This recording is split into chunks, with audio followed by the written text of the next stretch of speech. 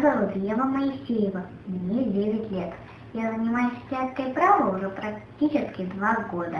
И за это время я уже сыграла много ярких ролей. Мне нравится очень заниматься правом, потому что там много детей, и они говорят по-русски. Я завожу там много-много друзей. Там хорошие учителя, добрые.